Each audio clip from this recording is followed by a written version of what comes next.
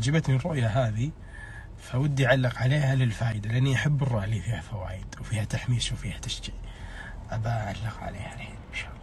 أقول أنا أصلي الوتر وأدعي مرة وأمس تحلمت إني أسولف مع جاري اسمه عبد الرحيم سولف معه ويضحك. هل أسماء الله هل اسم الله الحسنى في الحلم تدل على الله؟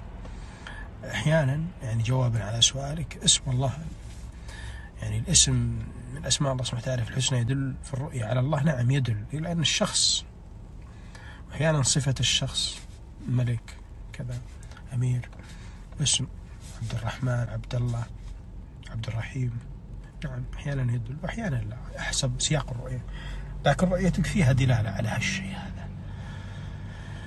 وتحثك الرؤية تحث على الاستمرار بالدعاء والاستمرار استمرار بأعمال الخير.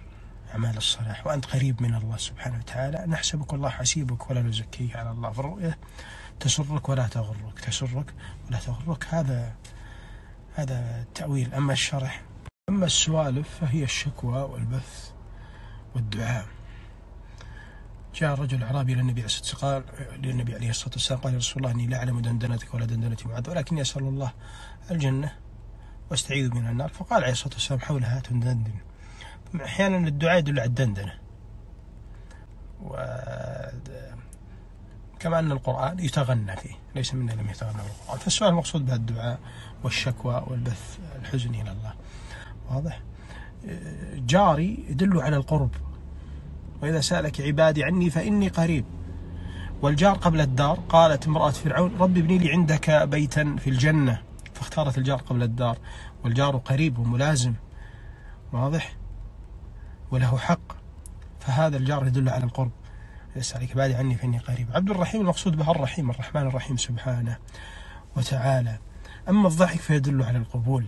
الضحك يدل على القبول. إيش نستفيد من الرؤية؟ هل تخبر فقط؟ لا لا تخبر. تدل على مع هذا الإخبار على القبول.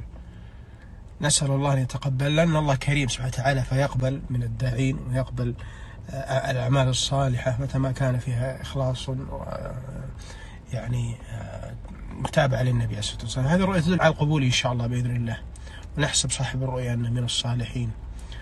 آه، فأنا أقول مثل الرؤيا هذه تدل تدل أو تحث بالأصح على أنك تستمر بالدعاء تستمر على الأعمال الصالحة وأن دعائك مستجاب وأن أعمالك مقبولة عند الرحمن الرحيم.